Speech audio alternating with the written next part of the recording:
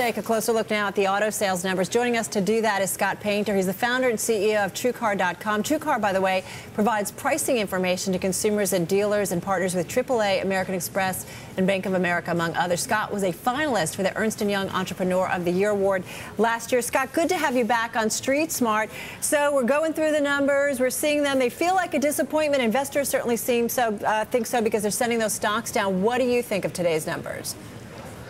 Well, certainly the uh, the car market is doing a little bit better in general than it was last year. So it looks like you've got a little bit of an uptick with some of the American car companies. Clearly, the supply constraints are affecting the market in general. So you're seeing real dips on the Toyota and Honda side. However, the silver lining, even though the, the numbers aren't necessarily as healthy as we had hoped for July, is that the transaction prices are actually high. So a lot of incentives have come out of the market. Clearly, uh, General Motors, Ford, and, and, Chrysler are taking back a little bit of share. Mm-hmm. And I think what you're going to find is that it's going to be a great time to be a, uh, a buyer in the fall because Toyota and Hondas are going to start to hit dealer lots. You're going to have a much more supply based market and those incentives are going to start to come back. So good for consumers, but help me out here, Scott, because as I mentioned, Ford's down almost 3% today, GM's down about 2.5%. You think investors have it wrong? Because you sound somewhat optimistic here.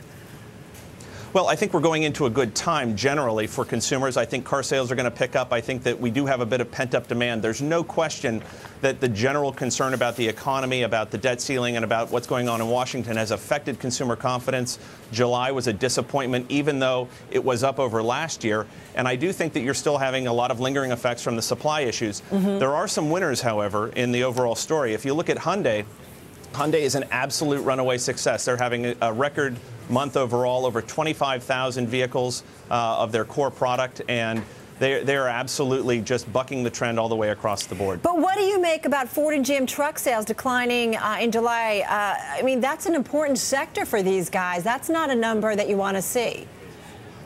Well, there's no question, and when we look at the data at TrueCar, we find that the American consumer is hyper reactive to gasoline prices, and we've really leveled off and stabilized at about three three dollars and seventy cents a gallon here in the U.S. And at four dollars a gallon, we make a big switch away from low mile per gallon vehicles and trucks and SUVs and into smaller vehicles in general. Mm-hmm. If you look at the Ford story a little bit deeper, though, crossover sales and high mile per gallon cars are still selling. And so I think the same is true at Chevrolet. The Cruze is absolutely a rock star for, for uh, GM.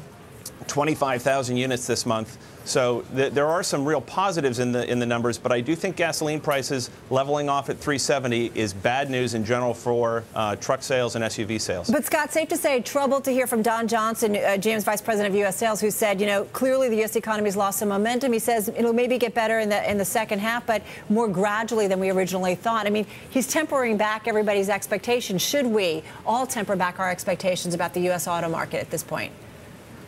Well, I think the U.S. auto market has been a very good sort of um, uh, harbinger of how the economy is doing in general and how we feel about the economy. Uh, and there's no question that July was a disappointment. I think that it's probably wise to cut back in terms of those expectations. Mm-hmm. And certainly, Ford, for example, uh, has a uh, you know an expectation around how big the car market's going to be for 2011 that I think is a little too optimistic. I think we see it sort of hovering around 12 million or a little bit lower. And again, we're just very, very granular in, in terms of how we look at those numbers. And I think that if we look at what's likely to happen over the next four or five months, I do think volume will come back. Okay. I think that the incentives will be there because the supply on the Toyota and Honda side is really going to change the dynamic in the marketplace. Right, but then we got to remember those incentives change the uh, margin picture a little bit. Hey, Scott, we got to run. Absolutely. Thank you so much. Scott Great. Painter, uh, he's the CEO of TrueCar.com.